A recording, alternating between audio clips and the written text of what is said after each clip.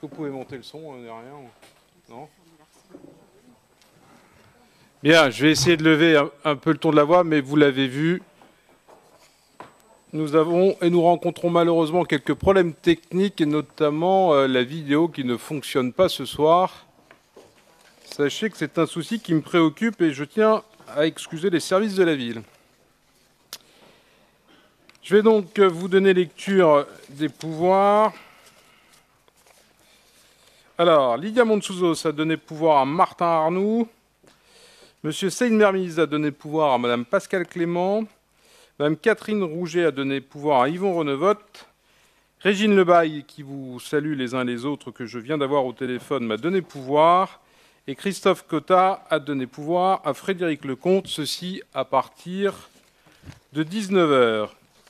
Je vais donc faire euh, l'appel nominal. Moi-même, Madame Degnaud qui est à mes côtés, ainsi que Pascal Hameau, Yvon Renevotte, Lydie Mahé, Jean-Jacques Lumeau, Gaël Bénizet, Régine Lebaille qui a donné pouvoir, Martin Arnoux, Christophe Cotta, Xavier Perrin, Pascal Clément, Vincent Seguela, Emmanuel Bizel, Patrice Bulting, Fabrice Bazin, Jean-Marc Calin, Céline Girard, Jean-Luc Guyodot, Françoise Lestien, Jacqueline Rica, Catherine Rouget, Marie-Belle Alain Manara, Pascal Hassan, bon, voilà, Éric Provost, présent, Hervé Brère, Philippe de Corinne Pro, Kadamaour, Lydia Montsouzos qui a donné pouvoir, Gaël Da Silva qui est présente, Sarah Trichet-Allaire, Saïd Mermis qui a donné pouvoir, Nicolas Carret, Florence Beuvelet.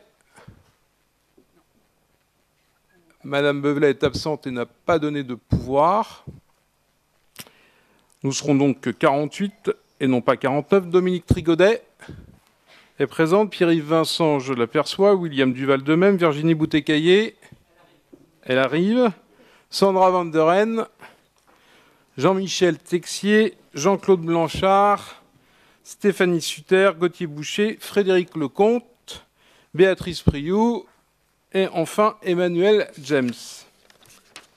Merci. Dans l'ordre du tableau, je vais vous donner. Dans l'ordre du tableau, excusez-moi, c'est Madame Gaëlle Da Silva qui va accepter d'être secrétaire de séance et je tiens à l'en remercier. Nous sommes dans un conseil municipal exceptionnel que j'ai souhaité convoquer en ce début de rentrée pour faire le point, le bilan et donner des perspectives à l'ensemble de nos conseils de quartier.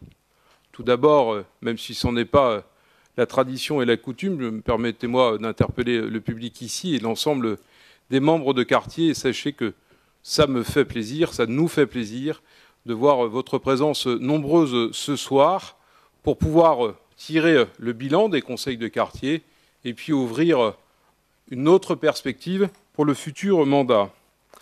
Vous le savez, dans le cadre des élections municipales, dans la campagne électorale, la liste fera affirmer une volonté politique forte, profonde, clairement exprimée, de renforcer les conseils de quartier et la place global à livre ouvert, en transparence, sur les réussites, mais aussi sur les difficultés rencontrées par les conseils de quartier, donc par vous-même, sur l'ensemble de la ville. C'est ce travail commun qui a permis de définir plusieurs évolutions possibles qui sont aujourd'hui soumises à notre Assemblée, et voilà pourquoi vous êtes invités et présents ce soir. Les conseils de quartier constituent vous le savez, un espace démocratique important qui doit trouver sa juste place parmi tous les autres espaces de concertation ouverts par la ville, que ce soit autour des projets urbains ou des réflexions sur les différentes politiques publiques. Nous avons conclu dans les conseils municipaux précédents la politique culturelle, cette rencontre, après beaucoup de débats, y compris bien sûr le rôle du conseil municipal est de venir clôturer ces débats. Et je saluais Régine Lebaille, qui est absente, mais vous le savez, nous sommes en train de travailler, de concerter pour la fabrique des politiques sociales. Et donc c'est ces concertations qui nous amènent justement régulièrement à voter des délibérations que nous appelons dans le jargon des délibérations cadres, ces délibérations qui donnent des perspectives et en même temps une vision politique de cette majorité municipale. Nous devons, en tout cas c'est ce que je crois, relever le défi de faire globalement plus de place aux citoyens dans la cité, dans la ville, en conservant deux objectifs qui sont à mes yeux, à nos yeux majeurs. Le premier, c'est de préserver une vraie démocratie citoyenne en évitant, et c'est pas simple, que les débats sur les politiques publiques, sur l'aménagement de la ville, deviennent uniquement des affaires de spécialistes, qu'ils soient élus, professionnels, associations ou appartenant ou se disant appartenant à différents collèges d'experts. Il faut, de notre point de vue, prendre en compte le fait qu'un certain nombre d'entre nous sont euh, plus ou moins à l'aise pour pouvoir euh, interpeller euh, le conseil municipal, l'adjoint, le maire, pour pouvoir aussi prendre la parole dans ces différents cadres collectifs, l'expression de ces prises de parole au plus grand nombre. Le deuxième objectif, c'est de clarifier, et c'est une nécessité, de clarifier les contours de ce qui est soumis à la concertation. Je vois, j'entends, je lis parfois des choses qui heurtent, qui chagrinent, qui interpelle parce que les règles de la concertation ne sont pas bien posées de mon point de vue. Il faut éviter la surabondance des dispositifs de concertation qui fait perdre en quelque sorte le sens de l'action publique et risque de démotiver les citoyens qui ne savent plus où, quand, quel est l'espace de concertation, le vrai. Le deuxième, c'est en étant clair et c'est un point majeur en étant clair sur les règles du jeu, sur les règles communes des différents espaces de concertation, et sur ce qui est soumis au débat, et sur ce qui n'est pas soumis au débat.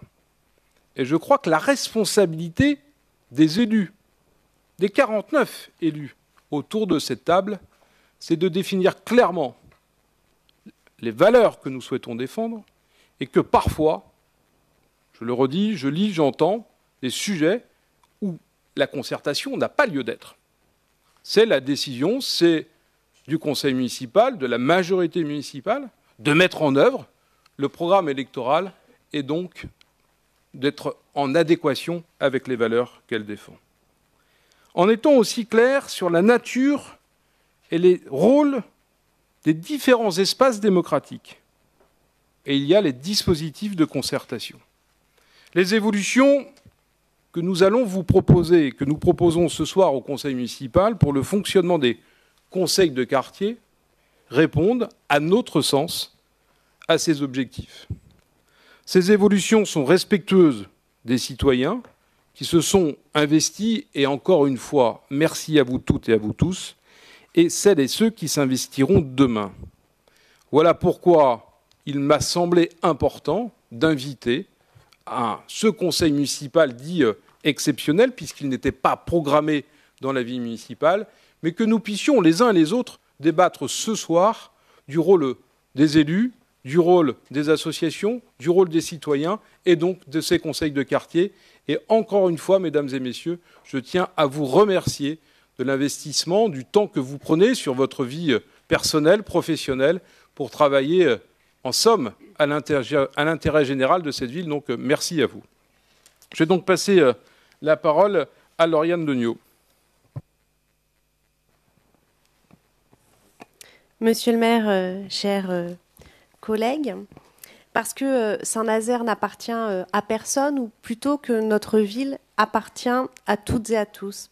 Je parle des générations présentes, mais aussi des générations futures que notre ville finalement est un héritage de ce que chaque génération construit, imagine et transmet, parce que l'équipe municipale, et Monsieur le maire l'a rappelé, euh, croit en l'intelligence euh, collective, parce que la démocratie représentative, elle les riches, elle s'enrichit des échanges, des débats, de l'implication euh, des habitants et des habitantes. L'équipe municipale a effectivement euh, souhaité faire de la participation euh, citoyenne un axe fort de la mise en place de ces politiques publiques et de ces choix d'investissement.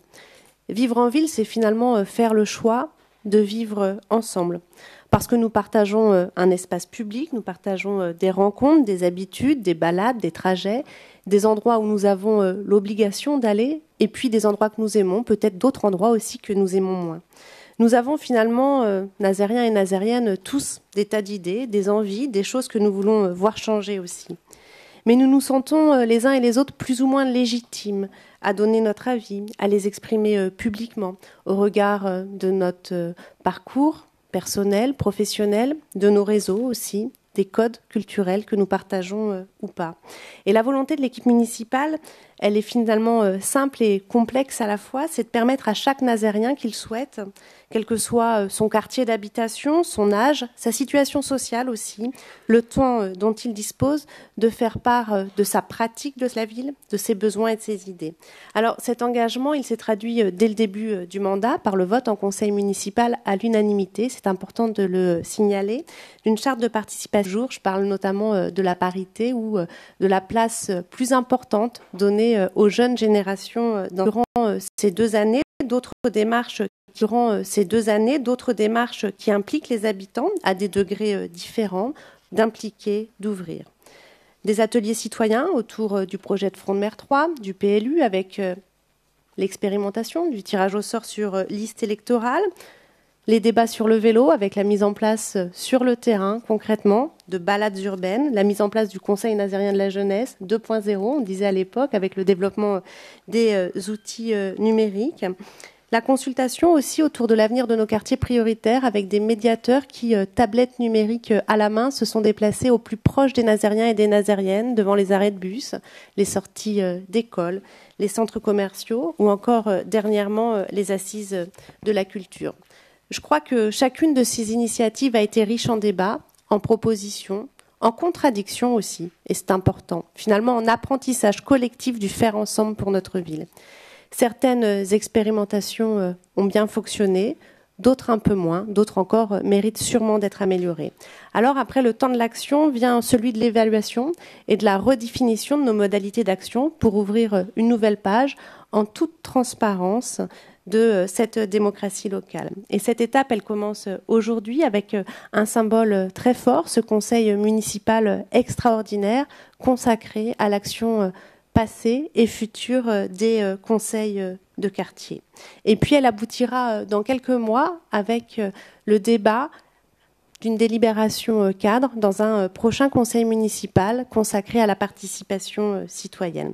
Alors, avant de laisser la parole à Tiffaine Durand, de mission euh, publique qui nous a accompagnés euh, sur euh, l'évaluation des conseils de quartier, et puis ensuite à, Jean-Luc Séché qui est en charge des conseils de quartier au sein de l'équipe municipale. Je voudrais très chaleureusement remercier bah, tous les membres des conseils de quartier présents ce soir, qui ont passé beaucoup de temps au service des Nazériens et des Nazériennes, du collectif, de l'intérêt général pour faire grandir notre ville. Je voudrais aussi remercier la mission citoyenneté et, et politique de la ville, et puis aussi plus largement, parce que c'est important de le signaler, l'ensemble des techniciens de la ville de Saint-Nazaire qui euh, vous ont accompagné, qui nous ont accompagnés dans euh, des projets euh, très différents. Et puis, comme Monsieur le maire vous l'a indiqué, nous avons un petit souci technique ce soir. Nous avions prévu un certain nombre de supports de communication pour rendre ce conseil municipal plus dynamique, plus pédagogique, plus sympathique tout simplement. Je vous propose juste de revenir par ma voix, du coup, à défaut d'image et de PowerPoint, sur quelques actions menées euh, par les conseils de quartier qui ont euh, marqué euh, ces deux années. Je voudrais citer de nombreuses fêtes de quartier qui ont permis à des habitants. Je voudrais citer de nombreuses fêtes de quartier qui ont permis à des habitants de Saint-Marc qui a fait l'actualité estivale de ce beau quartier, mais plus largement de la ville ces deux dernières années, de l'action Nature insolite en ville qui, je l'espère, a lancé un mouvement pour euh, la reconquête des petites friches urbaines de notre euh, centre-ville. Et puis, euh, bien entendu, parler des initiatives très intéressantes menées également sur le quartier de l'Immaculée. Je pense au Pédibus, aux réflexions qui ont été engagées autour du bois Joalan. Et puis, pour finir, le quartier de Méan-Pinouette, effectivement, avec diverses initiatives et une initiative qui, je le pense, est très prometteuse, originale et innovante, qui est tout le travail qui a été fait sur la revalorisation patrimoniale euh, du quartier euh, de Méan-Pinouette. Et pour finir euh, mon propos et, mon illustration, je vous propose juste de vous faire la lecture de ce qui vous devait être diffusé, de quelques témoignages de membres des conseils de quartier. Alors, je commence par le témoignage de Maëlys Casati, 28 ans, infirmière, membre du conseil de quartier de Méan-Pinouette. J'avais envie de montrer aux autres Nazériens qu'il y a beaucoup de choses à découvrir à Méan-Pinouette et même des maisons qui ont résisté au bombardement. Avant le conseil de quartier, j'ai rencontré des... avec le conseil de quartier, excusez-moi, j'ai rencontré des voisins. C'est vraiment sympa. On œuvre pour le mieux vivre ensemble. Les rencontres avec les habitants du quartier et les différents de la mairie m'ont plu. J'aimerais à nouveau être tiré au sort. Pioré, 60 ans, de l'Immaculée, c'est très enrichissant. J'ai vraiment envie de me représenter. C'est bien que des citoyens comme tout le monde puissent y participer. Il faut venir pour essayer de faire avancer un projet. Cela nécessite de l'assiduité et une critique positive.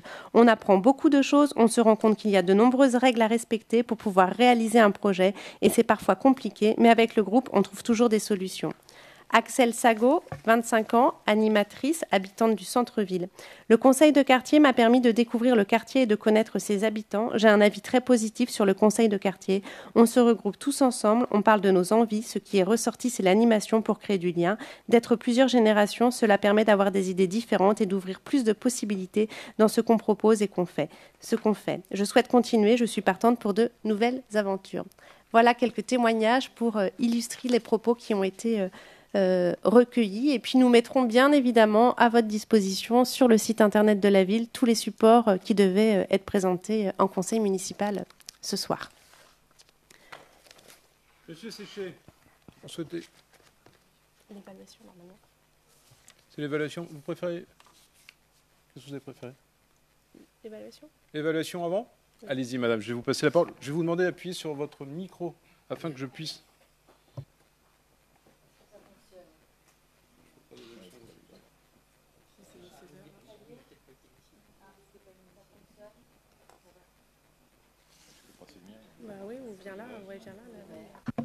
Est-ce que ça.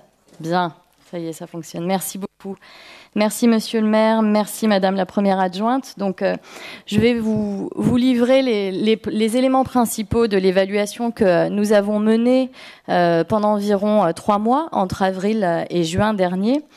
Tout d'abord, euh, vous, dire euh, un peu comment on a, procédé. Donc, on a mené une évaluation avec les membres des instances. Hein. L'objectif, c'était de recueillir leurs avis, leurs besoins et leurs ressentis à l'issue de leur mandat et d'identifier les chantiers à mener et les marges de progression pour la suite.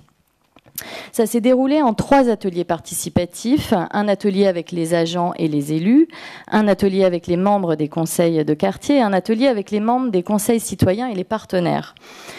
On y a ajouté des questionnaires d'évaluation pour prendre en compte euh, les avis et les ressentis des membres qui ne pouvaient pas euh, se joindre à nous aux ateliers. Alors on a posé cinq questions aux participants Première question, un conseil de quartier, un conseil citoyen, comment ça doit marcher? Donc là, on s'intéresse au fonctionnement. On a posé une deuxième question, à quoi ça doit servir? Donc on a pensé, on a parlé de l'utilité et de l'impact. Troisième question, quel rapport à la population? Quatrième question, quel rapport à la ville et aux autres instances participatives, conseil de quartier et les conseils citoyens? Alors, si on commence euh, par la question, le lien, euh, par la, question pardon, du fonctionnement des instances, c'est-à-dire la question comment ça doit marcher. On a vraiment un consensus euh, global sur une qualité de fonctionnement très satisfaisante, globalement. Il y a vraiment eu fait par la ville et l'implication des élus. Néanmoins, on a aussi un consensus global sur, et ça a été dit, euh, la clarification, la nécessaire clarification des rôles de chacun. Euh, que ce soit les membres habitants, les acteurs locaux, la ville ou les élus, et ce, dès l'installation, au sein même des instances. Ensuite, on a un consensus global aussi assez euh, classique finalement sur la question de la mobilisation, de la pérennité de la mobilisation des membres des conseils de quartier, des conseils citoyens le constat, c'est que finalement, seul un noyau dur s'implique sur la durée et qu'il faut trouver des moyens pour favoriser une implication au plus long terme. Ensuite, on a eu un, sujet assez important euh, qui a émergé sur la question de l'autonomie des instances par rapport à la ville et notamment euh, le rôle et la place des élus dans les conseils de quartier. Euh, vraiment, on le souligne parce que ça a été un sujet, un sujet très important et très prégnant dans les débats. et globalement, il n'y a pas du tout de remise en bloc, de remise en cause en bloc de la présence des élus. Néanmoins, des ajustements ont été euh, souhaités, ont été, euh, ont été euh, formulés, une nécessité d'ajuster la place et le rôle de l'élu, et notamment sur la question de la présidence hein, des conseils de quartier, l'idée que ça pourrait être, être revu, que l'élu ne serait pas forcément le président à, des membres, à des membres non élus. S'agissant maintenant de l'utilité et de l'impact des instances, donc là on répond à la question à quoi ça doit servir? On a un consensus global sur la nécessité, on l'a dit, de clarifier les cadres d'intervention et les objectifs euh, des conseils de quartier et des conseils citoyens. Certes, euh, l'objectif, c'est de servir le vivre ensemble. La question est, est-ce qu'on va un peu plus loin? Est-ce qu'on en fait un lieu d'information réciproque, un trait d'union entre l'institution et les habitants? Est-ce qu'on en fait, est-ce qu'on donne un rôle consultatif sur les enjeux et les projets du quartier, par exemple, où là, on renforcerait l'écoute de la ville à l'égard de ces instances. Toutes ces questions-là ont été, euh, ont été posées. On a eu aussi un consensus sur euh, parfois un manque de coordination des instances avec les acteurs locaux à l'échelle du quartier. Et là, par exemple, des demandes de liens plus forts avec euh, les, maisons de quartier, les associations, etc. Finalement, une inclusion dans le territoire plus forte un consensus aussi sur la nécessité de valoriser ces instances, euh, les réalisations et les membres, hein, pour, euh, euh, vraiment donner, envie aux gens de s'impliquer et de montrer à quoi ça sert. Il y a eu une spécificité lors euh, euh, de, l'atelier sur les conseils euh, citoyens avec des membres des conseils citoyens et des partenaires et des propositions des partenaires du contrat de ville pour accroître le rôle, accroître significativement le rôle des conseils citoyens et vraiment les reconnaître comme des partenaires pleins et entiers du contrat de ville. Ça a été vraiment un moment, un moment important. Maintenant, si on passe à la question du rapport, il faut noter une satisfaction vraiment forte des membres euh, s'agissant de l'appui et du rapport avec les techniciens de la ville. Euh, ça, ça a vraiment été, souligné, le rôle vraiment nécessaire et vraiment très très bienvenu et très bien fait aujourd'hui euh, des techniciens vis-à-vis des instances. Euh, le seul bémol, ça a été la question d'y mettre un petit peu plus de fluidité. Mais c'était vraiment pas ce qui, ressortait euh, de manière la, plus prégnante.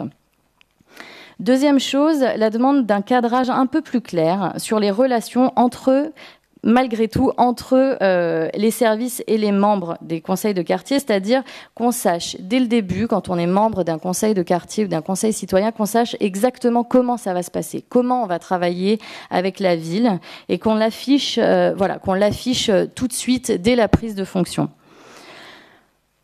Autre souhait, euh, peut-être un petit peu plus, euh, un petit peu plus source d'étonnement pour nous qui travaillons euh, avec les, les, conseils de quartier et conseils citoyens depuis longtemps, c'est le souhait d'avoir un dialogue approfondi en amont des projets proposés par les instances pour éviter les déconvenus. C'est-à-dire que les, les membres des conseils de quartier se disaient, il faut qu'on sache dès le début si c'est faisable ou si c'est pas faisable, pour ne pas perdre de temps, pour ne pas s'embarquer et embarquer l'instance dans des discussions qui finalement euh, n'aurait pas lieu d'être, n'aurait pas d'utilité.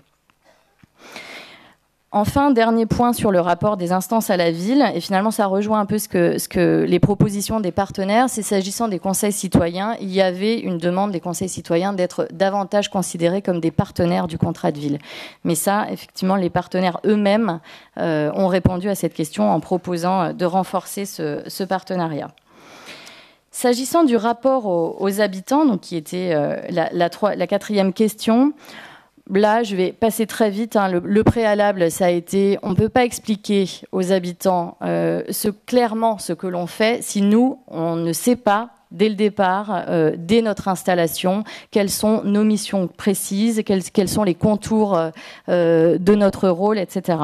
Donc d'abord, un préalable, hein, le, le, besoin exprimé par les membres des conseils de quartier et des instances de mieux comprendre eux-mêmes leur mission pour pouvoir, deuxième chose, clarifier auprès de la population et apporter les réponses nécessaires à la population qui, elle aussi, méconnaît un peu euh, euh, le rôle et les contours euh, de ces instances. Enfin, dernière, piste et dernier élément important hein, dans le rapport aux habitants, l'envie de donner plus encore envie aux autres de s'investir dans ces conseils de quartier et dans ces conseils euh, citoyens par différents moyens, par de la communication, une valorisation des événements, une ouverture aussi euh, davantage encore euh, avec les citoyens plus, nombreux. Enfin, dernière question et non, non des moindres, hein, on a posé la question donc de l'articulation des conseils de quartier et des conseils citoyens. Le constat qui a émergé, euh, on l'a dit, hein, c'est euh, un manque de lisibilité entre les deux types d'instances. Il y avait vraiment euh, cet élément-là très très fort. Finalement, quelle est la spécificité du Conseil citoyen? Quelle est par rapport au Conseil de quartier qui préexistait? Et donc, comment on fait pour rendre les choses plus lisibles? Et la proposition qui a émergé, ça a été leur fusion en Conseil citoyen de quartier avec tout de même des points de vigilance très importants, qui sont évidemment que le cadre légal des conseils citoyens des conseils de quartier ne sont pas les mêmes, que les missions exercées et fixées, attribuées, ne sont pas les mêmes non plus, qu'il y a évidemment aussi une différence euh, dans la gouvernance de ces deux instances et qu'il y a aussi, se pose la question de l'échelle d'intervention des conseils citoyens qui n'est pas la même que celle du conseil de quartier. Je vais m'arrêter là. Donc voilà les, les principaux éléments hein, de, l'évaluation. Euh, voilà simplement pour dire que euh, voilà, on avait été très très heureux de travailler euh, de travailler avec euh, avec la ville et avec les, les habitants pour mener cette cette évaluation participative qui n'est pas si fréquente et que nous avons donc travaillé après collectivement avec l'équipe de la politique de la ville, avec les élus, avec les partenaires à partir de tous ces éléments en respectant hein, le cadre légal des instances pour proposer euh, euh, voilà, des évolutions euh, à venir. Merci à vous. Merci Madame pour cette présentation et y compris la difficulté de ne pas avoir de support. Donc merci, merci à vous. Monsieur Séché, vous avez demandé la parole. Vous l'avez. Merci Monsieur le maire. Tout d'abord, je m'associe évidemment aux remerciements que vous avez exprimés et que Madame Degnaud a également exprimé aux différents euh, acteurs des conseils de quartier et conseils citoyens. Et je salue euh, plus particulièrement euh, les membres qui sont présents dans cette salle ce soir. Je vais donc vous présenter les évolutions, les principales évolutions que nous avons, que nous proposons ce soir par rapport à 2014. D'abord, c'est une nouvelle euh, dénomination, les conseils citoyens de quartier, en lieu et place des conseils du quartier d'une part et des conseils euh, citoyens d'autre part. Ce changement de nom n'est pas un simple effet de style, mais bien une volonté euh, d'harmonisation des deux dispositifs existants et d'une meilleure lisibilité de cette nouvelle instance, et pour les membres d'une part, et pour la population dans son ensemble. C'est aussi un objectif euh, clarifié mais réaffirmé. Je cite, il s'agit de proposer et mettre en œuvre des actions concrètes au bénéfice des autres afin d'améliorer le vivre ensemble et le cadre de vie des habitants, mais aussi être force de proposition pour les quartiers et leurs habitants. Les rôles et les fonctions de chacun sont également précisés. Que font les habitants? Que font les acteurs locaux, les élus, les représentants des services de la ville J'y reviendrai un peu plus loin. Et puis, euh, le projet stratégique 2016-2024 inscrit le dispositif euh, dans la durée, avec un budget d'investissement dédié de 135 000 euros par an pour les conseils citoyens de quartier, ce qui permet une réelle visibilité pour les projets à mettre en œuvre. À cela s'ajoutent bien évidemment les moyens humains et matériels octroyés euh, par la ville afin euh, d'assurer le meilleur fonctionnement possible. Le périmètre et la durée de trois ans ne changent pas. Par contre, il y a des modifications quant à la désignation des membres. Il y aura 35 membres par conseil citoyen de quartier, dont 20 membres qui seront tirés au sort parmi euh, les habitants euh, volontaires. C'est nouveau. 10 membres tirés au sort sur les listes électorales. Cela correspond à notre volonté de proposer et euh, d'encourager les citoyens les plus éloignés a priori des lieux et des instances d'expression politique, d'expression publique, excusez-moi, à participer. Il y aura également cinq acteurs locaux qui seront à titre d'exemple, représentants d'associations, euh, commerçants, qui euh, seront euh, dans chaque conseil citoyen de quartier et qui seront bien évidemment des acteurs reconnus pour leur action concrète dans le périmètre du conseil citoyen de quartier. Les conseils citoyens de quartier ouest et nord, prioritaires, dont les habitants doivent être associés aux instances du contrat de ville 2015-2020. Pour ces deux conseils citoyens de quartier, il y aura 15 personnes supplémentaires, 10 parmi les volontaires et 5 tirés au sort sur les listes électorales. Ces membres supplémentaires permettront d'assurer, comme l'exige le contrat de ville, la représentativité des quartiers prioritaires dans les conseils citoyens de quartier. Donc au total, il y aura 7 conseils citoyens de quartier et on passe d'une représentation de 224 habitants actuellement à 240 et on reste sur un nombre comparable d'acteurs euh, locaux.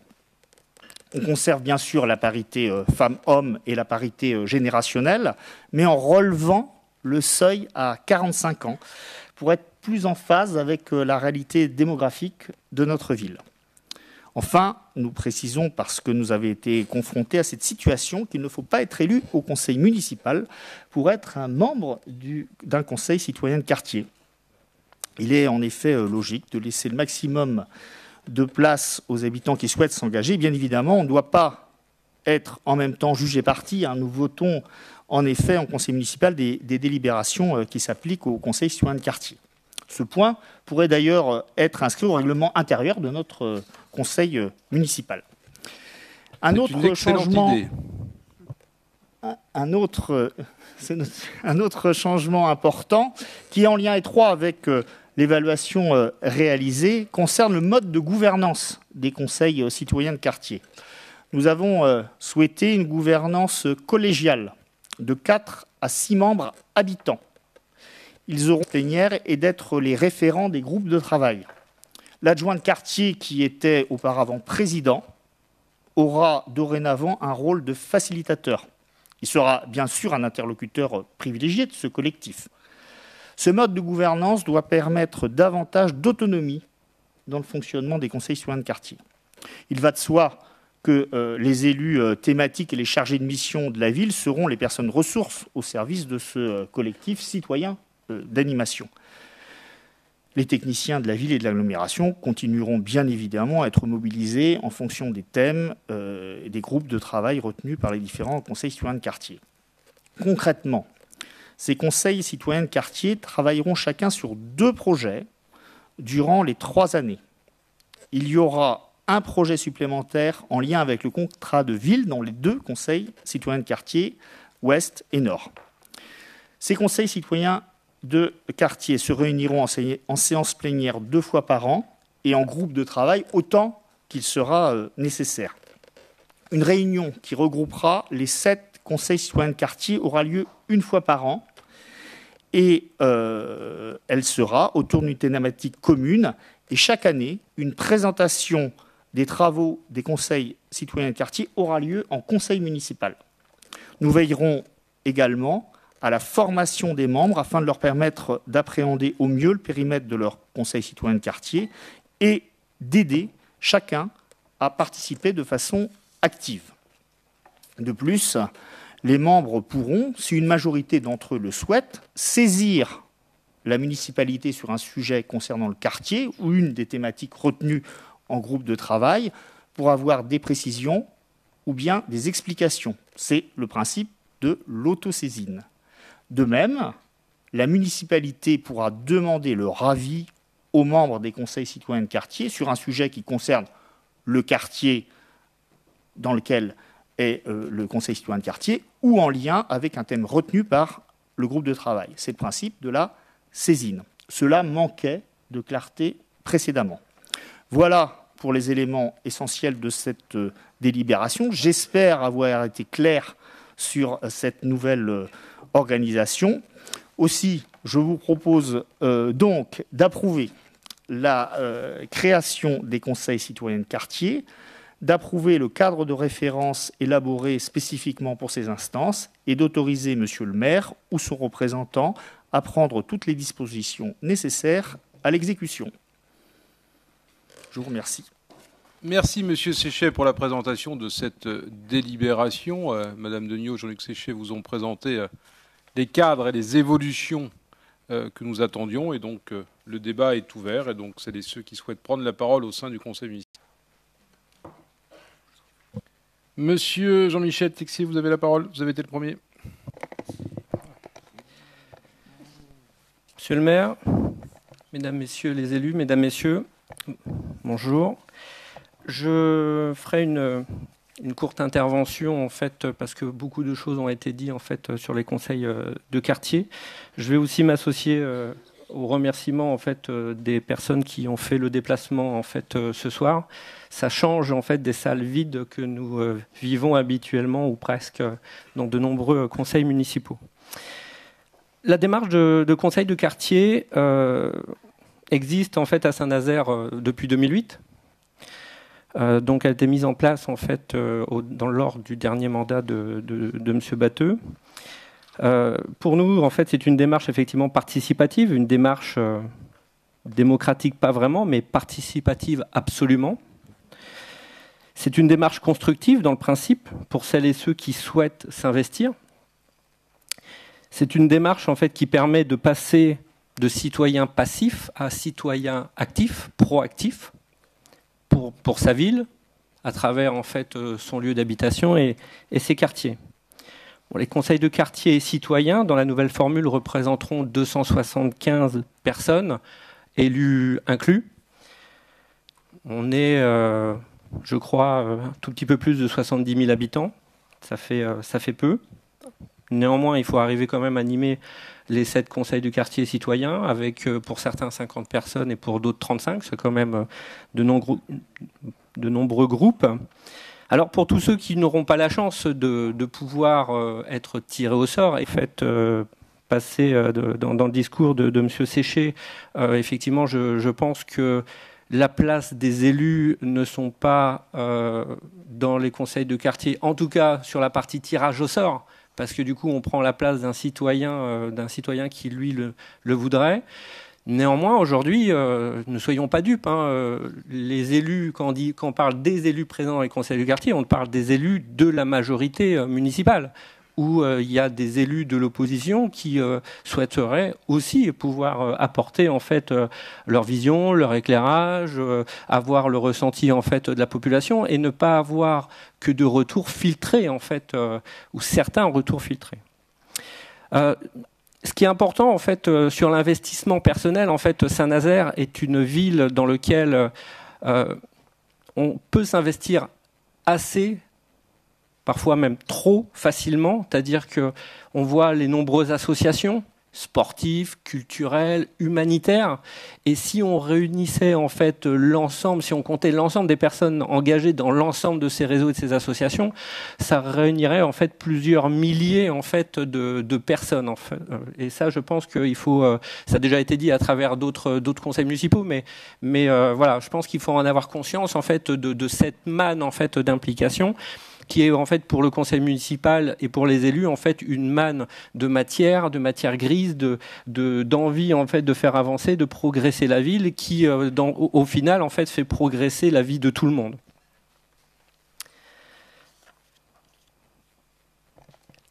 La nouvelle formule propose un nouveau souffle.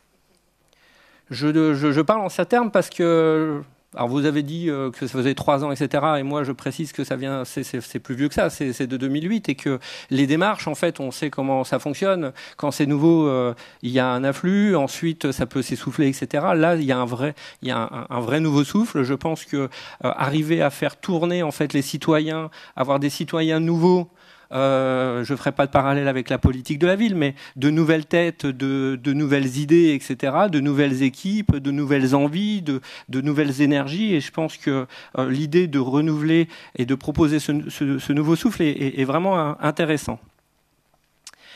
Dans ce qu'on a entendu, il y a quelque chose en fait qui est qui est essentiel et pour le coup qu'on n'a pas entendu. On a entendu effectivement que euh, le conseil municipal, euh, euh, les élus mettraient en place les moyens matériels et humains. C'est très bien. Il y a un élément en fait que que j'ai pas entendu et peut-être que j'étais pas assez concentré. Vous m'en excuserez, mais la partie financière peut être aussi intéressante. Alors je dis pas de déléguer les budgets de la ville au conseil de citoyens. Je dis pas, je dis pas ça. Même si j'ai en tête et là, je vais faire un mardi soir euh, à Saint-Malo de Garsac, en fait, à la présentation du euh, plan euh, du, du, PLUI, du plan local d'urbanisme intercommunal, dans lequel on a vu un morceau du PADD, le plan d'aménagement, de développement durable, et puis du plan de déplacement en fait urbain, etc. On a parlé, une notion sur laquelle j'aimerais qu'on puisse revenir un jour, c'est cette notion de centralité en fait. Aujourd'hui, euh, comment se va se construire l'avenir euh, de, notre ville, mais surtout de nos villes? Nos villes se construisent en fonction de l'envie des modes de vie de nos citoyens. Euh, demain, pourquoi, pourquoi effectivement ne pas ne pas créer en fait de centralité avec des quartiers des quartiers autonomes et, et un centre-ville en fait qui puisse être attractif pour bien d'autres raisons? Enfin et je pense qu'il faudra qu'on revienne sur ce type, euh, sur ce type de questions. Et j'ai en tête aussi une ville, alors beaucoup plus grosse que la nôtre. Hein, je ne fais pas de comparaison, mais la ville de Bruxelles, en fait, qui euh, fonctionne déjà en, quartier, fonctionne déjà en quartier, fonctionne euh, en conseil de quartier avec des budgets, avec des budgets et des budgets en fait là aussi, comme, comme je disais, pas déléguer des gros, enfin des, morceaux de budget de, de, la ville, mais donner des moyens limités et, et maîtrisés au conseil de quartier pour pouvoir réaliser des actions qui euh, euh, sont euh, souvent rapides quand c'est les citoyens qui les mettent en place et parfois beaucoup plus longues quand c'est obligé de passer par une hiérarchie municipale en fait pour arriver au bon service et redescendre avec la bonne autorisation pour mettre en place je vais pas je vais pas citer mais des pots de fleurs, des aménagements divers et variés pour améliorer le quotidien, même visuel, en fait, des citoyens, des changements de sens de rue ou ce type de choses.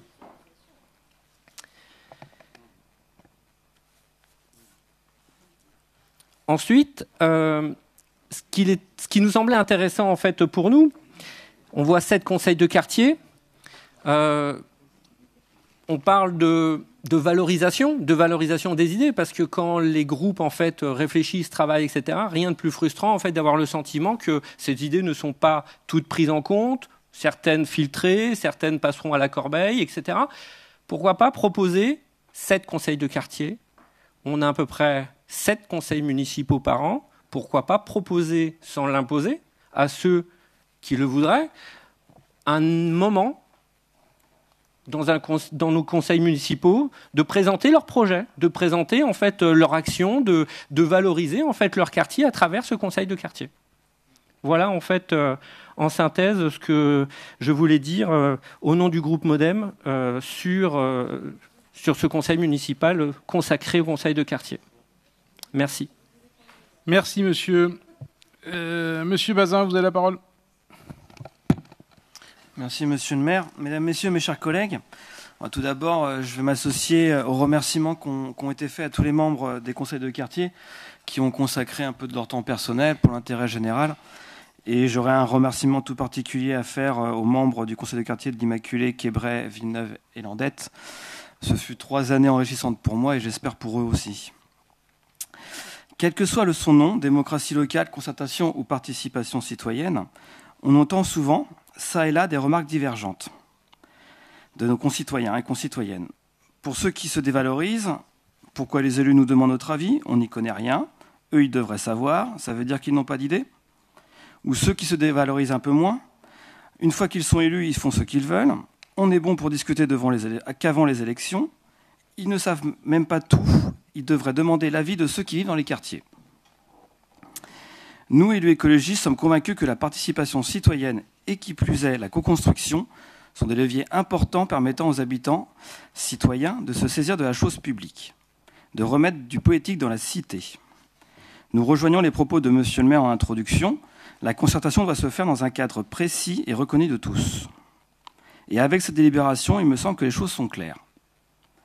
Les conseils de quartier sont nés dans notre ville en 2008. Et neuf ans après, ils continuent encore à grandir. Continuer à grandir, car dans le projet qui nous est proposé au vote aujourd'hui, il est à souligner que les élus ne seront plus les présidents de ces instances de participation citoyenne. Ils seront des facilitateurs, qui seront invités ou non par les membres de ces conseils. Ils ne pourront non plus être membres participants. Et euh, en effet, je rejoins les, propos de, Jean-Luc Séchet. Il me semble qu'en tant qu'élu, qu'on soit dans l'opposition dans la majorité, nous avons une instance de débat qui est le conseil municipal où nous sommes ici ce soir. Les conseils citoyens, ainsi, prennent leur indépendance. Une autre des évolutions importantes de ces nouvelles instances, c'est le tirage au sort. Sur le tirage au sort, ce n'est pas nous qui l'avons inventé, mais bien les Grecs il y a plus de 2500 ans.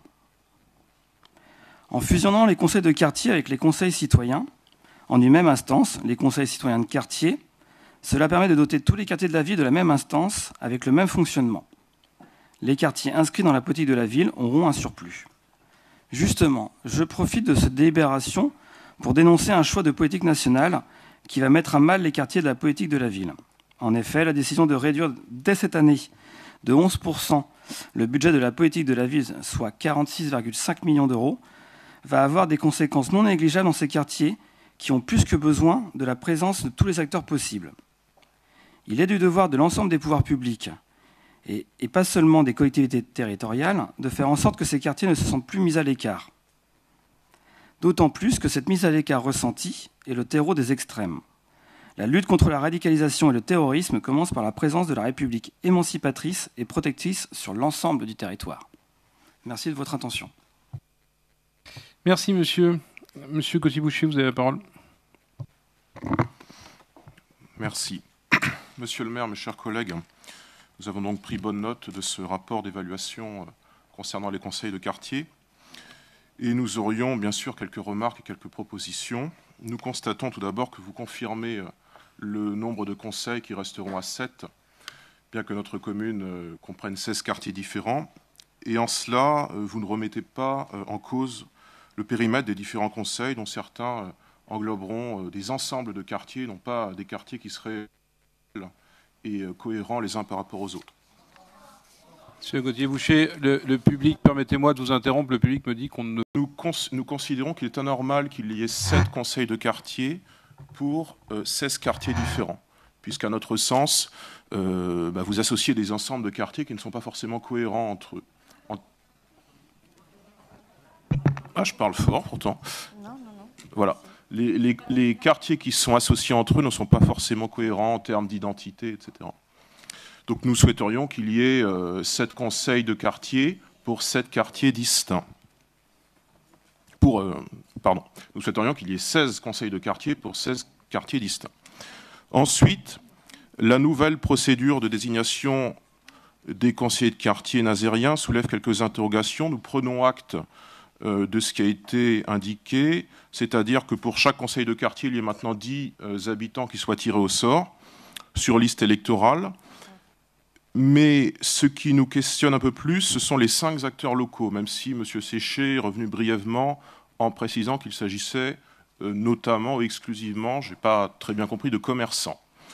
Pour autant, euh, ces cinq acteurs locaux, est-ce que nous sommes certains que vous n'irez pas les puiser naturellement un peu par facilité et puis euh, par, par dogmatisme, je dirais, dans les élites de la ville, les élites culturelles, économiques, associatives, qui seraient forcément un peu politiquement proches de votre majorité. Le terme d'acteurs locaux euh, nous semble un peu euh, vague pour l'instant. Notre groupe prend note avec intérêt de la perspective éventuelle euh, qu'à l'avenir, les conseils de quartier ne puissent plus systématiquement être présidés par des élus, et notamment des élus de la majorité, puisque nous en appelions à une mesure identique l'an dernier, qu'il n'y ait plus d'élus de la majorité pour présider ces conseils, ou préférentiellement plus d'élus tout court. Je parle de la présidence et non pas de la composition des conseils. Il faudrait donc confirmer ce geste, qui n'est pas qu'un geste symbolique, puisqu'en effectivement en autonomisant la, gestion de ces conseils de quartier, probablement vous libérerez d'autant plus la parole des, des membres de ces conseils. Cette remarque nous fait d'ailleurs revenir sur ce que, en mars dernier, vous qualifiez, monsieur le maire, avec excès, je le cite, de jurisprudence Gauthier-Boucher, pour faire savoir qu'à l'avenir, les élus ne pourraient plus participer au conseil de quartier en tant que membres.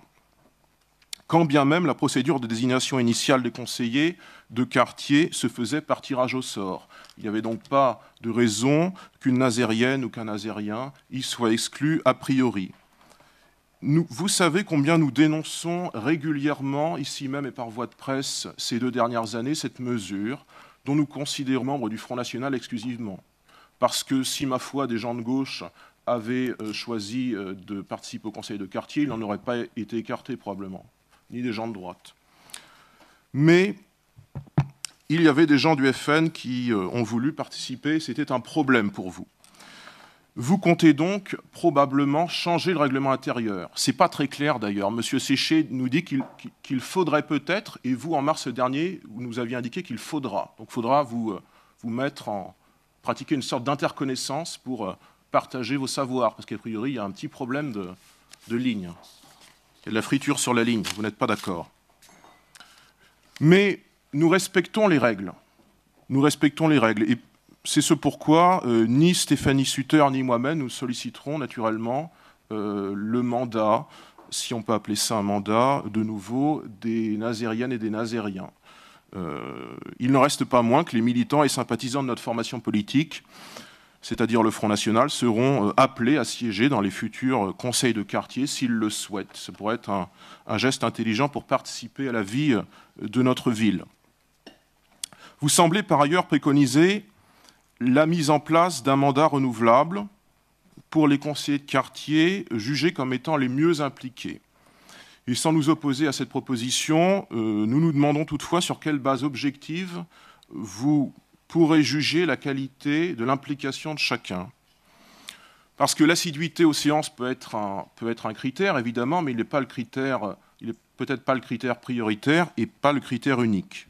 À notre avis, doit être jugée la capacité au travail collectif, de même que les apports oraux et écrits à la démarche de concertation que supposent les conseils de quartier. Et en conséquence, concernant les nouveaux conseils de quartier, abstention naturellement, puisque tout ne nous satisfait pas, mais qui sera une abstention qui, tout en reconnaissant bien sûr le bien fondé du principe des conseils de quartier et la poursuite de ces conseils, leur évolution même, émettent un jugement nuancé, voire critique sur leur organisation. Vous semblez d'ailleurs, monsieur le maire, à lire la presse locale ces derniers jours, euh, établir un bilan assez mitigé, pour vous citer, des conseils de quartier. Eh bien, nous vous prenons au mot. Pour nous aussi, le bilan est assez mitigé. Nous vous appelons, euh, et nous appelons d'ores et déjà, comme je le disais, nos, nos, sympathisants, en tant que militants, à se porter massivement volontaires pour intégrer dans les semaines qui viennent les conseils de quartier qui deviendront donc conseils citoyens de quartier. Merci, monsieur le maire, pour votre attention. Permettez-moi, je redistribue la parole, mais par souci euh, de bonne compréhension dans une intervention qui me semble un peu fumeuse, il y a deux choses dont je voudrais, pour la clarté du débat de ce soir, vous avez évoqué la jurisprudence Gauthier-Boucher en reprenant mon vocabulaire, puisque vous êtes le seul élu de cette ville siéger dans les conseils de quartier. Et dans votre propos, vous parlez d'élus, puis après vous parlez des gens du Front National. Puis, à la fin, vous appelez vos militantes et militants à l'entrisme dans les conseils de quartier. Vous venez de le faire ici Sachez que nos propos sont bien évidemment tous enregistrés. Il n'y a pas de friture sur la ligne. Il est très clair. Et je vous l'avais dit le lendemain du tirage au sort des conseils de quartier, parce que nous n'avions pas pu envisager une seule fois que des élus, c'est-à-dire c'est des ceux qui ont capacité à débattre dans cette instance par le choix des nazériennes et des nazériens, puissent prendre simplement la place d'un nazérien, d'une nazérienne au conseil de quartier. Et je vous avais clairement dit que la terme de ce mandat, je, fais, je ferai voter une modification du règlement des conseils de quartier, et M. Séchet l'a évoqué, du conseil municipal d'ailleurs, pour interdire que la qualité d'élu du conseil municipal n'autorise pas à siéger dans les conseils municipaux, en tout cas à être candidat au tirage au sort. Et puis, dans ce souci de compréhension de votre intervention, vous avez évoqué deux noms, celui de votre voisine, Madame Suter, et de vous-même. Qu'en est-il de Monsieur Blanchard? Je vous redonne la parole, monsieur. Alors, je suis désolé, moi, je n'ai pas compris la question. Euh. Vous avez cité deux noms comme quoi vous ne seriez pas candidat au conseil de quartier. Vous avez qu'en est-il de Monsieur Blanchard? Ah oui. je répondre moi-même, monsieur le maire? Mais Vous allez demander la parole avant.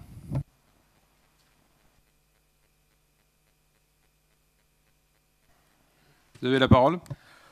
Monsieur le maire, parce que nous avons décidé comme euh, en groupe que je n'avais pas la nécessité de faire partie des comités de quartier. Point final. C'est nous qui décidons de notre euh, participation ou non. Nous avons décidé, et nous vous suivons à ceci, que nous ne nous présenterions plus en tant qu'élus dans les conseils de quartier. Donc, euh, nous allons continuer notre chemin. Donc, en clair, les deux élus qui siégeaient dans les conseils de quartier, Mme Suter et M. Gauthier-Boucher, ne seront pas candidat au tirage au sort et que M. Blanchard restera sur la même position, c'est-à-dire qu'il ne sera pas candidat. C'est ça la position du Front National. Bien entendu, monsieur le maire. Très bien. Eh bien, la clarté des débats, merci.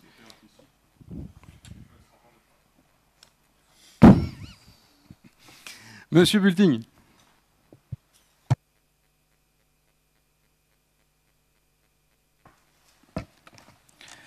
Monsieur le maire, mes chers collègues, l'exposé qui nous a été euh, présenté en, appui de la délibération sous forme de rapport final est essentiel, car il, révèle, il relève pardon, de l'indispensable évaluation de notre politique publique et il permet d'interroger la réalité de nos conseils de quartier de façon transversale avec les différents acteurs.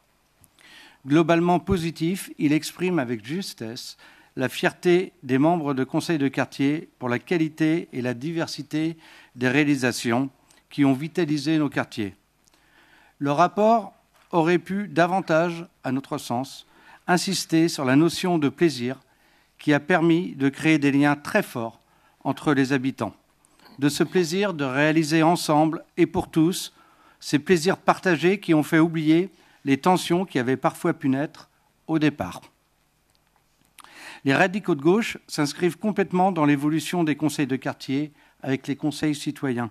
Cette mutualisation devant renforcer la démocratie locale comme un instrument au service de la transformation sociale chère au mouvement de l'éducation populaire qui, depuis les années 60-70, accompagne et soutiennent la participation citoyenne à l'échelle du quartier. Les préconisations de clarification et d'évolution pour un nouveau mode de fonctionnement nous semblent pertinentes.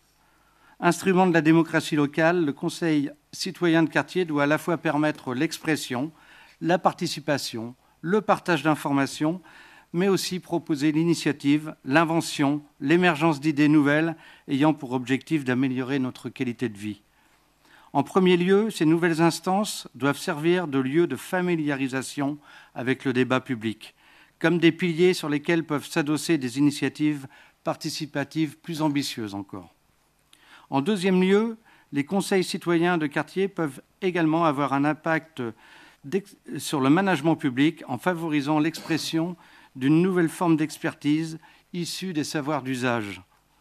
Détenus par les citoyens, chaque citoyen possédant en effet une expertise issue de sa pratique quotidienne, sa pratique quotidienne d'un espace public ou d'un service public et pouvant donc formuler des diagnostics précis sur la qualité des services en question. En troisième lieu, il ne faut pas négliger que ces conseils citoyens de quartier doivent remplir des fonctions de sociabilisation et de convivialité. En effet, les conseils citoyens de quartier doivent constituer pour de nombreux participants, particulièrement les plus âgés, des espaces privilégiés de création de liens sociaux avec les autres habitants du quartier. La création du lien social devient alors une condition essentielle du vivre ensemble et s'appuie sur ces instances. Toutefois, Les jeunes sont souvent encore trop peu nombreux dans ces instances. Le Parti radical de gauche souhaite fortement que la constitution de ces nouveaux conseils citoyens de quartier laisse une place plus importante aux jeunes. En fait, qu'ils soient davantage candidats sur une démarche volontariste pour rentrer dans les conseils de quartier, de manière à ce qu'il y ait une représentation équilibrée et entière de l'ensemble des citoyens. Nous voterons donc cette délibération avec conviction. Merci, Monsieur Renevotte. Vous avez la parole. Monsieur le maire, mesdames et messieurs les élus, le renouvellement des membres des conseils de quartier et des conseils citoyens ouest et nord, ainsi que leur transformation en conseils citoyens de quartier, marque une nouvelle étape en faveur de la démocratie participative dans notre ville. La nécessité et nord en conseils citoyens, en accordant une place plus importante aux habitantes et aux habitants, des quartiers prioritaires nous a déjà permis d'expérimenter de nouvelles pratiques et d'être en capacité de les généraliser sous forme de conseils citoyens de quartier. Aujourd'hui, le recours au tirage au sort de citoyens issus des listes électorales, en plus du tirage au sort des citoyens volontaires, est une expérience originale qui favorise la diversité de la participation dont nous avons besoin. L'évaluation de la période 2015-2017 a permis de recueillir des avis, des besoins, des ressentis, d'identifier des améliorations possibles et d'y répondre sans attendre 2020. L'évaluation montre que les membres des conseils de quartier et conseils citoyens ont apprécié ces espaces d'échange et ont la fierté d'avoir réussi à construire des projets concrets, même dans des durées de plein exercice assez courtes, notamment pour le Conseil citoyen Ouest.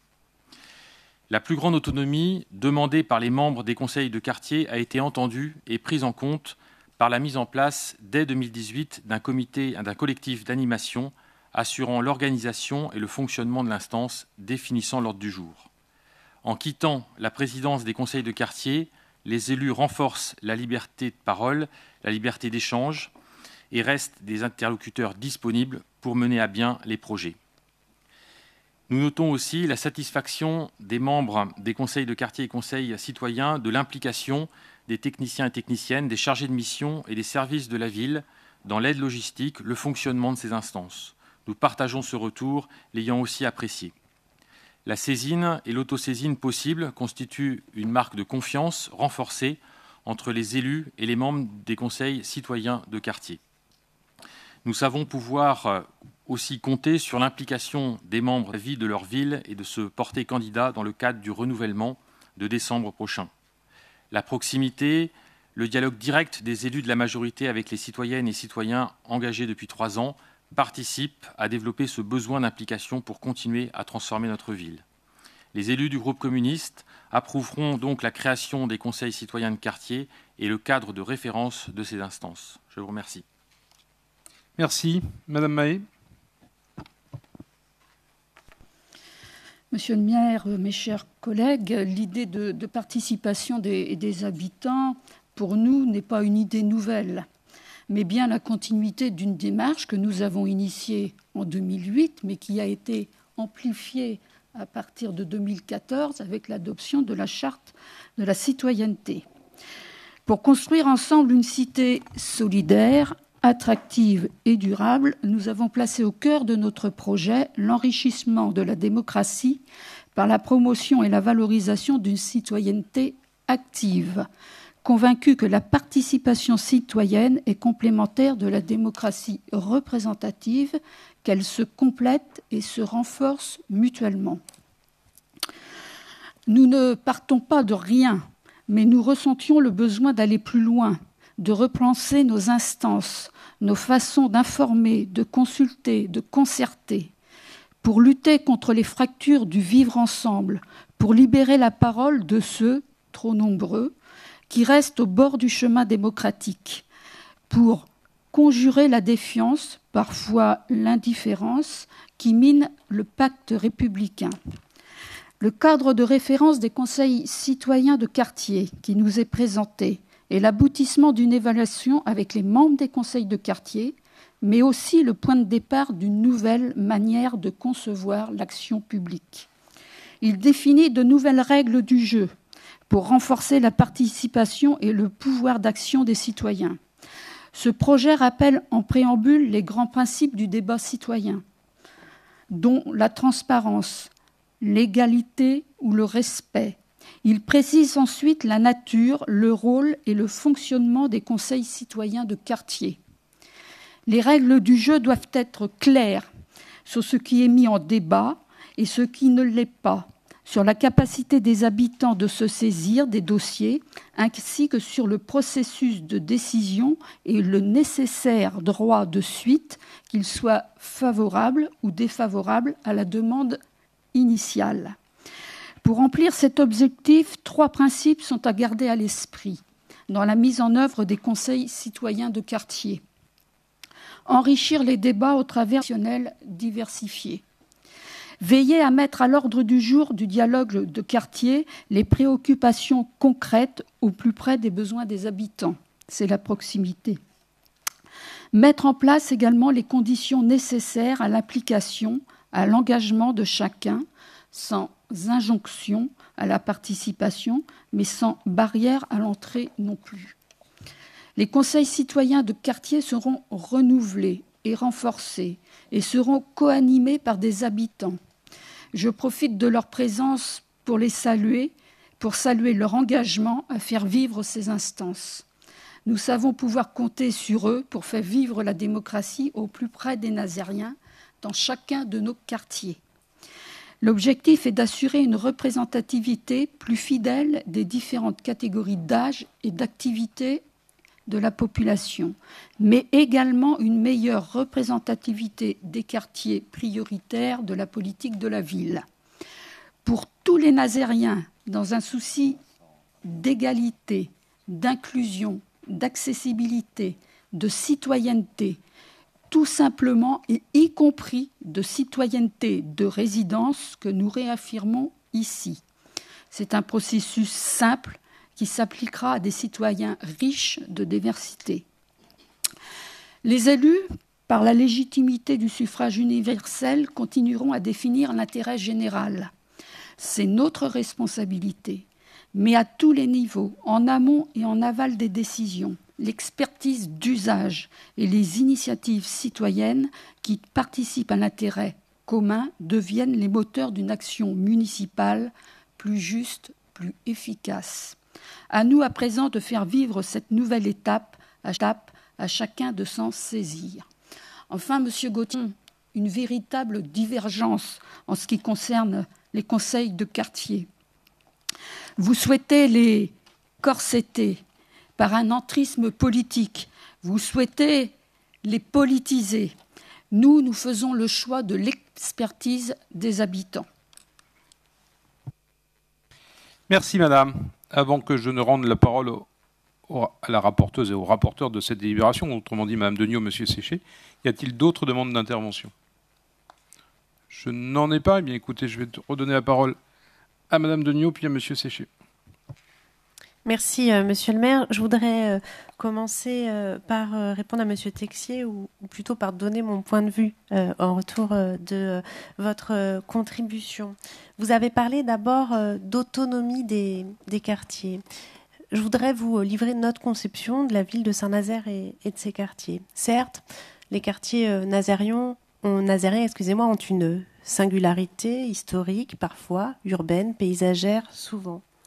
Mais une ville, ce n'est pas euh, l'addition de quartiers euh, autonomes placés simplement euh, les uns à côté les autres, tout comme l'intérêt individuel n'est pas l'intérêt général, pardon, n'est pas l'addition d'intérêts individuels. Une ville, c'est un dessin collectif, un mouvement permanent, une transmission, un héritage entre générations, une certaine idée aussi de la solidarité et de l'échange, du partage sur euh, la question euh, financière sur laquelle vous nous avez euh, interpellé, Monsieur Séché en, a parlé dans la présentation de la délibération, mais je peux peut-être repréciser quelques éléments. En ce qui concerne le budget investissement euh, qui est consacré euh, au projet des conseils de quartier et au projet euh, de proximité, vous le savez, dans un cadre que nous nous sommes fixés, qui est le projet stratégique du mandat, avec des contraintes financières qui sont bel et bien présentes pour notre collectivité, nous avons décidé de consacrer à peu près 400 000, 405 000 euros exactement d'investissement sur les mandats de chaque conseil de quartier, ce qui représente 135 000 euros par an qui sont euh, budgétés pour des euh, projets d'investissement des euh, conseils de quartier. Et puis sur la partie fonctionnement, 70 000 euros par an sont consacrés à la participation citoyenne et à l'accompagnement des projets quotidiens des membres de conseils de quartier.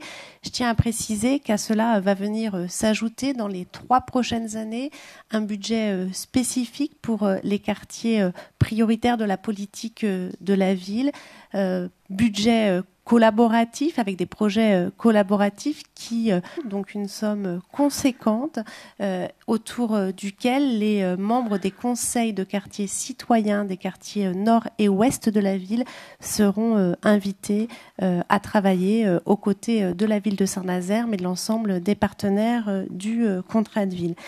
Pour euh, finir euh, mon propos et répondre à Monsieur Gauthier Boucher, parce que je crois qu'il y a une incompréhension sur la question du tirage au sort et du renouvellement, pour être tout à fait euh, transparente, il est vrai que dans le cadre de l'évaluation, un certain nombre de membres des conseils de quartier de cette génération euh, des conseils de quartier avait euh, émis le souhait euh, de pouvoir être demain membre des nouveaux conseils de quartier. Une hypothèse a effectivement été proposée et travaillée qui aurait pu être de permettre à des membres de conseils de quartier sortants de ne pas passer par le tirage au sort pour pouvoir à nouveau être membre des conseils de quartier.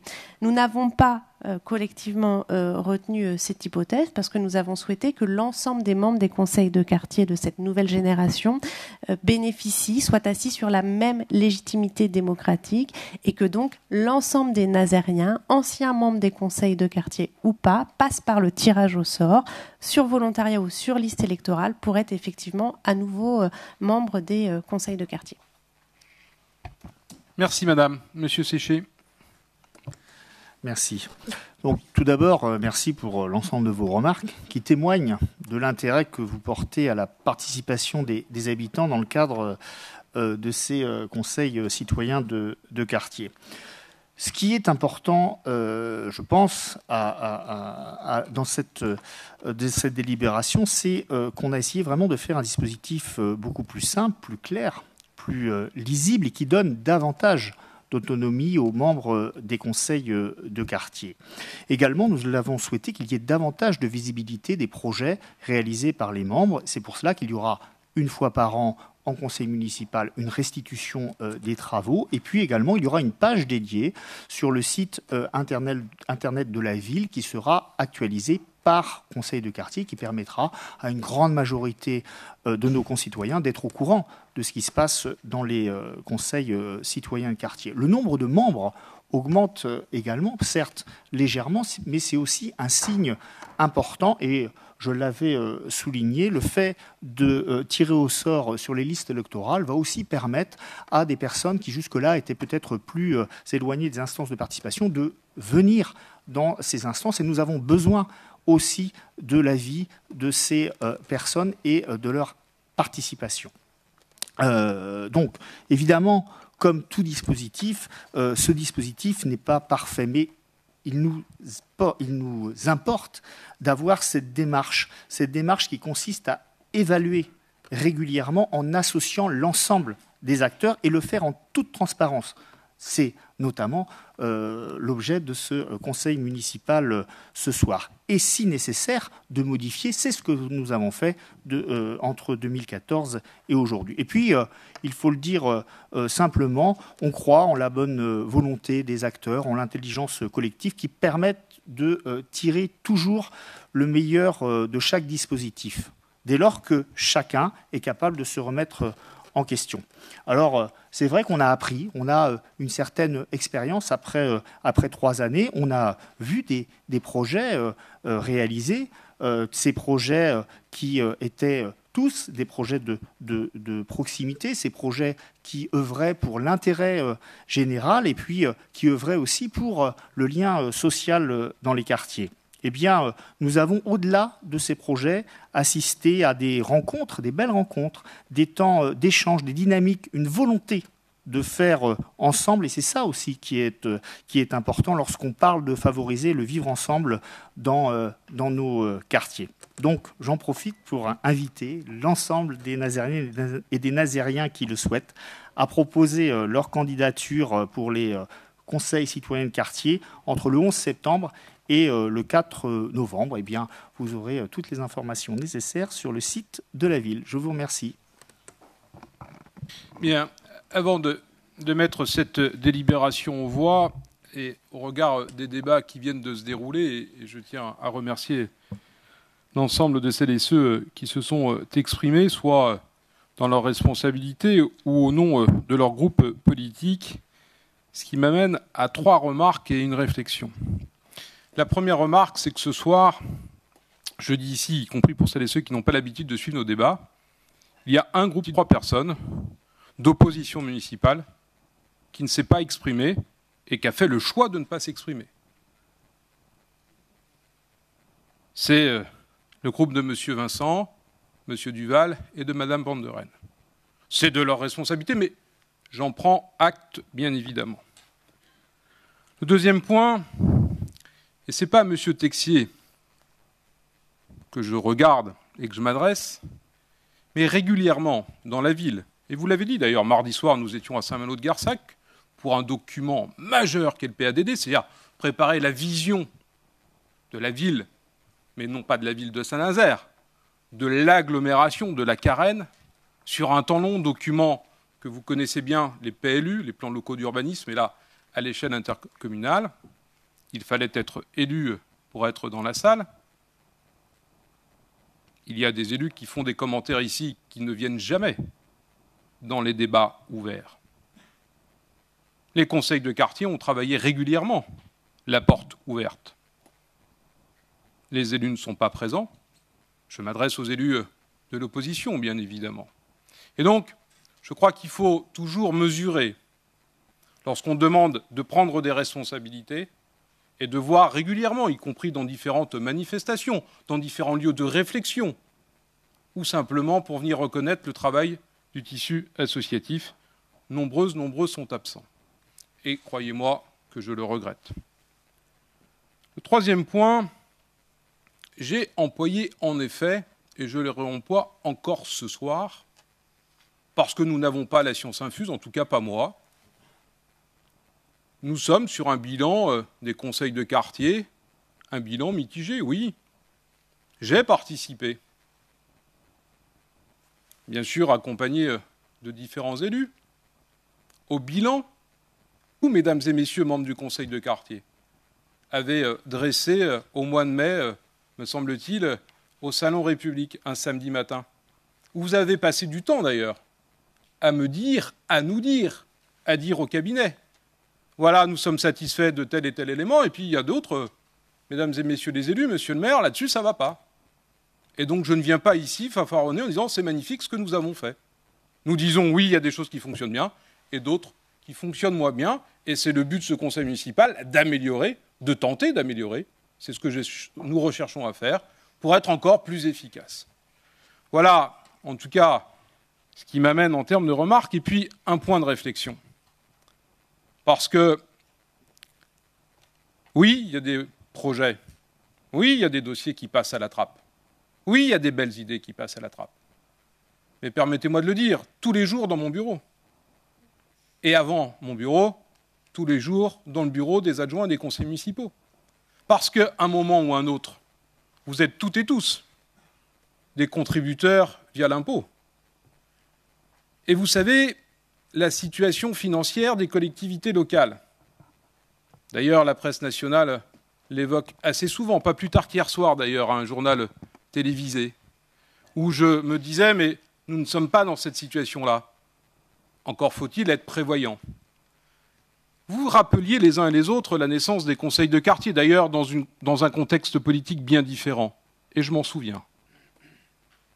ça va faire à la fin du mandat 10 ans que les impôts locaux n'ont pas augmenté. 6 ans pour ce mandat, puisque c'est l'engagement électoral que la majorité municipale a pris. Et nous avons présenté un programme électoral, nous avons voté ici en conseil municipal un projet stratégique. C'est quoi le projet stratégique? C'est la planification, M. Séchel l'a évoqué rapidement, de l'ensemble des dépenses que cette majorité municipale s'apprête à faire, y compris même au-delà du mandat.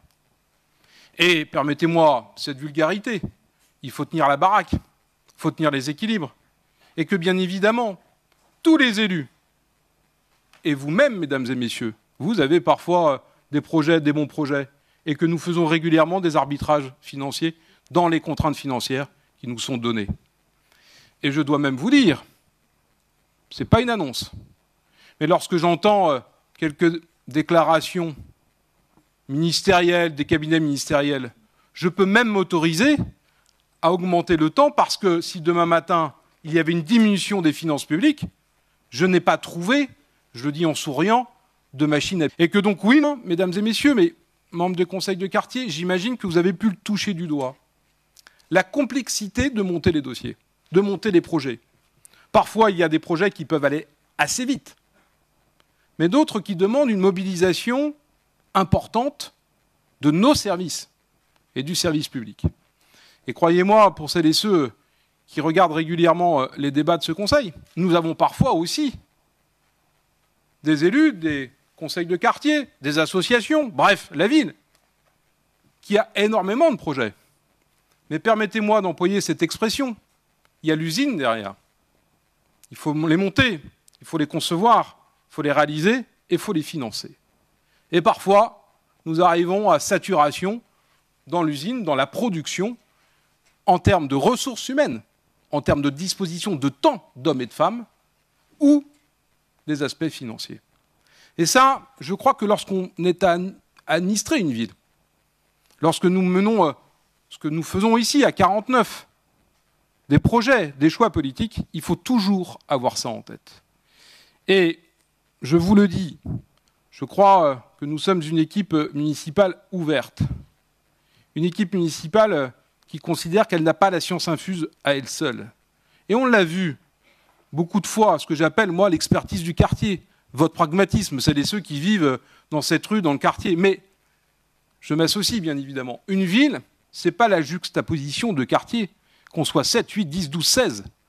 Je ne rêve pas d'une ville où il y ait des hommes et des femmes cloisonnés dans leur quartier. Je rêve d'une ville où de Samar, on aille à Méan-Pinouette, de l'Immaculée, bref, je ne vais pas les citer, ces quartiers, où nous vivons ensemble et au-delà même des frontières de la ville. C'est ce que nous construisions d'ailleurs mardi soir à Saint-Malo de Garsac et que j'espère bien, dans le respect bien sûr des cultures, d'une station balnéaire comme Pornichet, bien sûr dans le respect et dans leur unité. Donc, je ne veux pas entendre, permettez-moi cette expression, de dire ce projet n'a pas été retenu parce que la majorité municipale l'a considéré de mauvais. Parfois, nous ne retenons pas des projets d'élus, d'associations, de conseils de quartier, parce qu'il y a ces éléments, le temps et les finances. Mais il y a un élément aussi où nous devons progresser. Et là, je m'adresse bien évidemment à l'ensemble des élus, mais bien sûr à l'ensemble des services. C'est qu'il faut expliquer les choses. Il faut, je fais toujours le pari de l'intelligence. Parce que vous-même, vous gérez un budget dans votre association, euh, à la maison, dans une entreprise, et que le budget municipal, globalement, ça fonctionne avec les mêmes équilibres. Et qu'il faut expliquer pourquoi nous ne faisons pas, pourquoi nous faisons, et y compris, et je voudrais en conclure là, parce que je serai trop long, y compris parfois au nom de valeurs que nous défendons. Et il y a des projets, mesdames et messieurs, mesdames et messieurs les élus, mesdames et messieurs les membres de conseil de quartier, quand nous considérons qu'ils sont non pas contre, mais qui n'accompagnent pas les priorités que nous nous sommes fixées, ce sont des priorités politiques. Et elles sont euh, nombreuses, que nous arrivons parfois à expliquer, à démontrer, et parfois nous avons du mal à les financer. Eh bien, nous concentrons nos efforts sur ces valeurs, sur ces priorités politiques que nous considérons justes au moment euh, où, nous concevons, ou au moment où nous votons, et que vos réflexions alimentent l'année prochaine, dans deux ans, dans trois ans, et puis peut-être le mandat prochain. Voilà ce que je voulais vous dire. Donc le temps que vous prenez sur votre temps personnel, je tiens, parce que je ne crois pas qu'il y ait d'hommes ou de femmes, des élus notamment, qui parfois, c'est pas simple, hein, les membres des conseils de quartier, l'ensemble de celles et ceux qui s'investissent dans les associations. C'est pas simple de prendre du temps sur un temps professionnel, sur un temps familial et de faire les différents arbitrages. Et donc, quelles que soient nos appartenances, quelles que soient nos idées, quelles que soient parfois même nos oppositions, mesdames et messieurs, au nom euh, du conseil municipal, de cette majorité municipale, je souhaitais tout simplement vous dire merci à vous. Je vais donc mettre cette délibération euh, aux voix. Il ne faut pas que je l'oublie. Y a-t-il des avis contraires à cette délibération? Y a-t-il des abstentions? Trois abstentions.